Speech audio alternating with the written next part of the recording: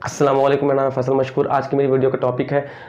आपने देखा होगा सोशल मीडिया पे एक वीडियो बहुत ज़्यादा वायरल हो रही है, जिसमें एक एंबुलेंस बहुत स्पीड में रोडों से निकल रही है, सड़कों से निकल रही है। वो वाक़ है मैंगलोर का। मैंगलोर में एक छोटी सी बच्ची है जो मुल्लर हॉस्पिटल में एडमिट थी। उसके हार्ट में प्रॉब्लम थी।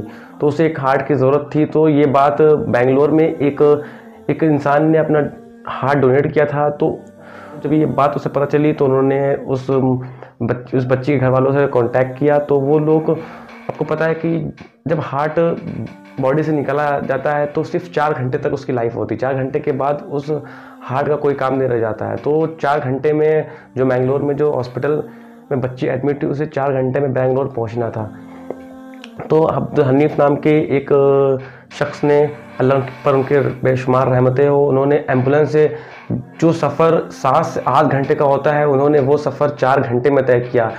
अप्रॉक्स मैंगलोर से बेंगलोर की दूरी 400 किलोमीटर है, जिसमें सात से आठ घंटा आराम से लगता है, पर उन्होंने ये दूरी सिर्फ़ महज चार घंटे में पूरा किया। और आपको पता है कि उन्होंने उस बच्ची की जान बचा अल्लाह की मदद से।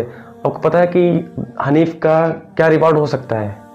जो उसको मेडल या उसको जो इनाम दिए जा रहे हैं आपको पता है कि अल्लाह ने उन्हें क्या इनाम दिया है? अल्लाह ने कुरान में सूर्य माता सूर्य नंबर पाँच के आयत नंबर बत्तीस में फरमाया कि जिस भी इंसान ने किसी मासूम की जान बचाई, जिस भी इंसान ने किसी एक मासूम की भी जान बचाई, उसने गोया कि सारी इंसानियत की जान बचाई। तो जो अब्दुल हनीफ को जो रिवॉर्ड मिला है, वो पूरी इंसानियत की जान बचाने का मिला है। ये रिवॉर्ड हमारे अल्लाह ने हनीफ को दिए। इससे बड़ा रिवॉर्ड कोई दे ही नहीं सकता। अल्लाह की बेशुमार रहमतें हों। और बहुत लोग का, बहुत लोग का ये कहना है कि इस बच्ची को प्लेन के ज़रिए क्यों नहीं ले जाया गया?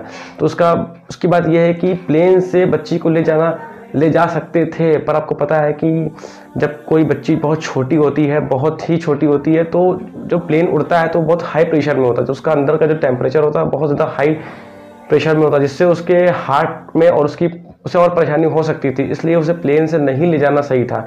इसलिए उसे एंबुलेंस से ले जाया गया और और इसमें सबसे बड़ा सपोर्ट है बैंगलोर पुलिस की, जिन्होंने बहुत ज़्यादा सपोर्ट किया, जिन्होंने हर सिटी से जहाँ से वो एंबुलेंस निकल रही है, वहाँ से वहाँ से ट्रैफ़िक को हटवाया। इसमें बहुत ज़्यादा सपोर्ट वहाँ के लोकल लोगों ने भी किया।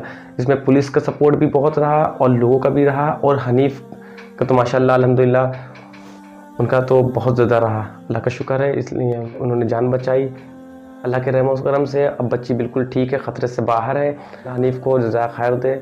और जो रिवॉर्ड उन्होंने, जो रिवॉर्ड हनीफ को अल्लाह ने दिया है, शायद वो रिवॉर्ड को अल्लाह दे सकता है। हनीफ को जो सवाब मिला, वो पूरी इंसानियत को बचाने का सवाब मिला है।